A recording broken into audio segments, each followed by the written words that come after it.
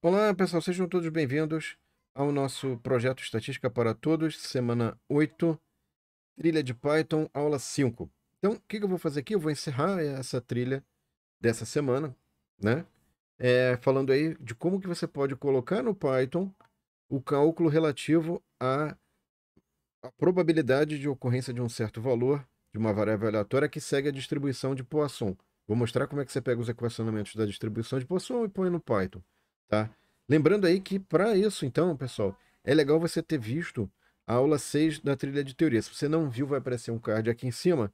Dá uma olhadinha lá, tá? Eu vou passar muito rapidamente aí sobre o que é a distribuição de Poisson e os cálculos correspondentes. Então, a distribuição de Poisson, pessoal, é, tem três condições para satisfazer, para que ela seja, enfim, atendida, né?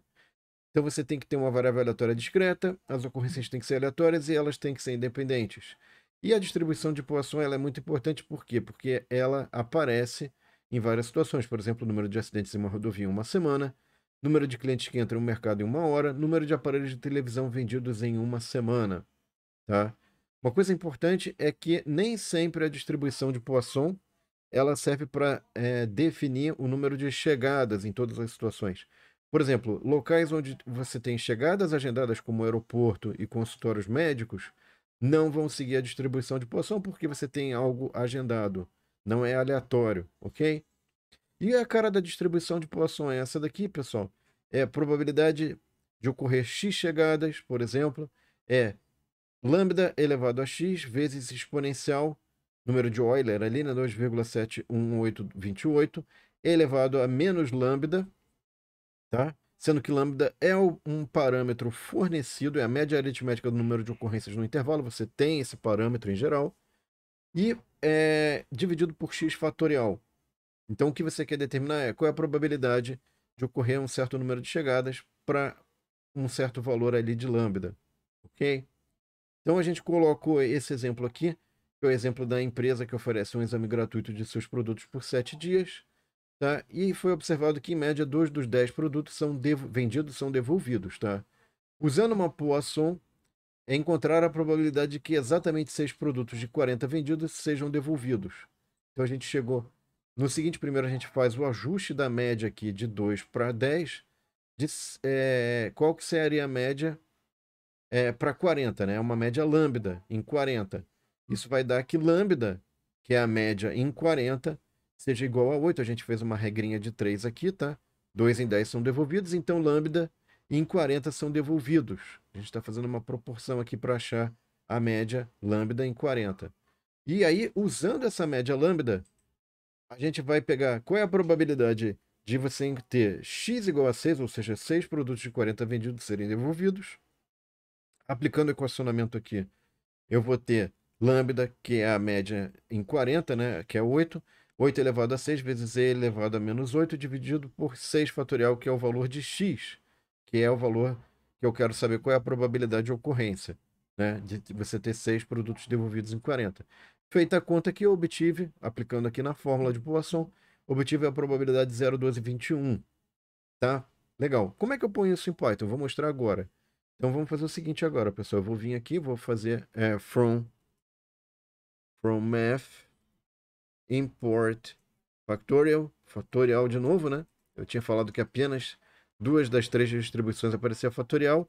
Na verdade, em duas das três aparece combinação, mas fatorial aparece nas três funções de distribuição de probabilidade, tá?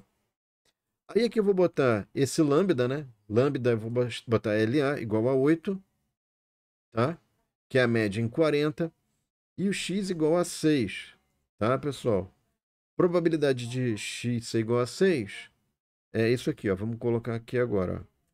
Lambda vezes x vezes, aí vamos colocar 2, 7, 1, 8, 28. E o número de Euler, tá, pessoal? É... É... Isso aqui é expoente, vezes vezes é expoente. Lambda. Então eu estou pegando essa formulinha aqui, ok, pessoal? Tô colocando essa formulinha. E agora eu vou dividir tudo por fatorial, factorial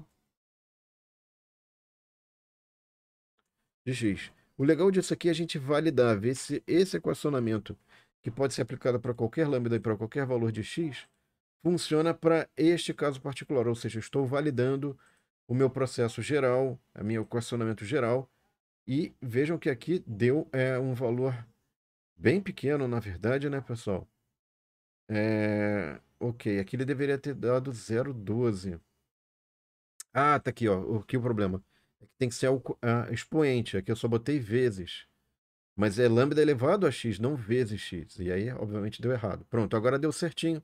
0,1221. E com isso a gente validou esse equacionamento que você pode usar agora para qualquer valor de lambda, para qualquer valor de x que você quiser. E não precisa ficar refazendo na, essa conta na mão ou na calculadora, que é extremamente trabalhoso, demorado e pode acabar errando. Tá bom? Bom, com isso então, pessoal, a gente encerrou. Lembrando que na descrição do vídeo, de todos os vídeos, eu tenho o código em Python que você pode copiar, colar e aproveitar para você. Se tiver dado erro no seu, ou se você quiser economizar tempo, você pode aproveitar isso. Tá? E com isso a gente encerrou essa trilha de, é, de Python, fazendo a relação sempre com a teoria. E também agradeço a atenção de vocês aí, porque próximas semanas vamos colocar mais trilhas de Python para agilizar, para tornar fácil o cálculo e o uso dos equacionamentos que aparecem nessas nossas é, nas trilhas de teoria do nosso projeto aí Estatística para Todos. Então é isso. Muito obrigado pela atenção de vocês. Um abraço e até a próxima trilha então, pessoal. Tchau.